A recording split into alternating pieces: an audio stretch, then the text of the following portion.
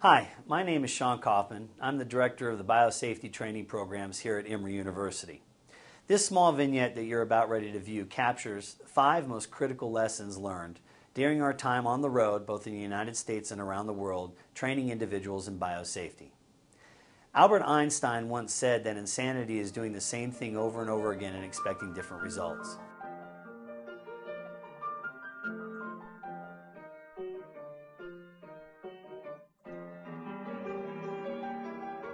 If you're doing training in biosafety and you're not seeing the results that you're looking for, it may be time to change. Because the difference between a lesson learned and a lesson ignored is change. And we hope that this next five minutes will maybe open your eyes to doing something a little different.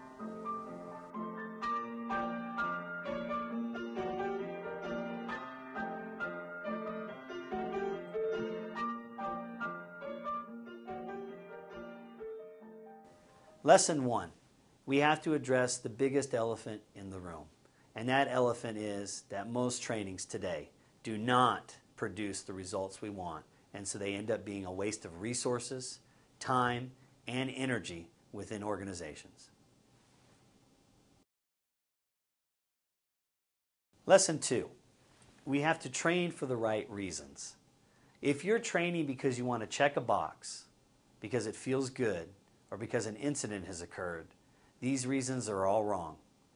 When people train and when you train your staff, you should be training to increase awareness, increase skills, or increase self efficacy and the confidence within your staff.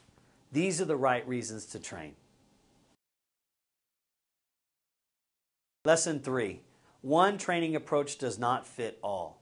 You have three levels of learners in your organization. You have novices that are just coming into your organization. You have practitioners that are doing the work in your organization. And you have experts that are leading the workforce. All three levels within your organization need to be trained.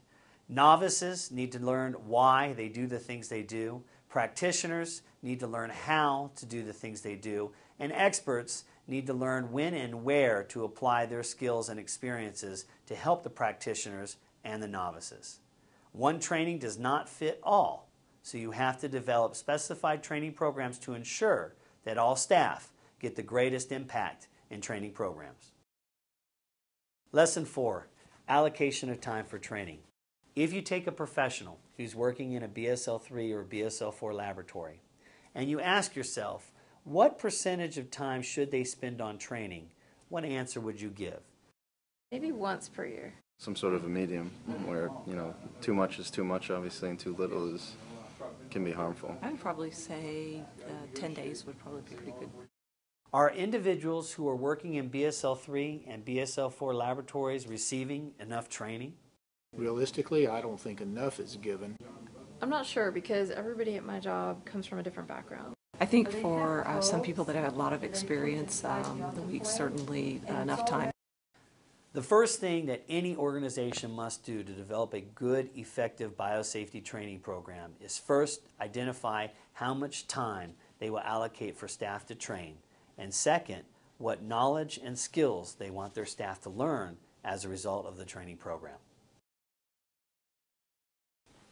Lesson 5 Understanding Behavioral Evolution.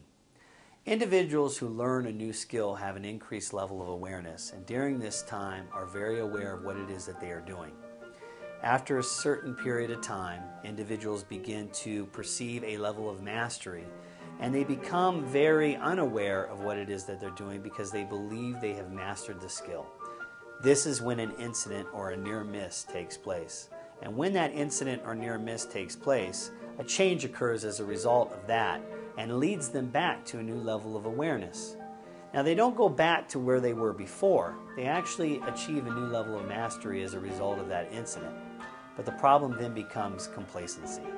Over a period of time, they forget about this near incident and they become complacent, which then leads to another near miss or incident. Behavioral evolution is a concept that you use so that you can induce mistakes among your staff in a safe environment so the consequence of those mistakes are not so severe. So there it is, folks. Thank you for watching. Uh, please stay tuned. Uh, we have many other biosafety vignettes that will be coming out uh, to you shortly. We hope this was a benefit for you. Should you have any questions or comments, we would love to hear them. Please reach out.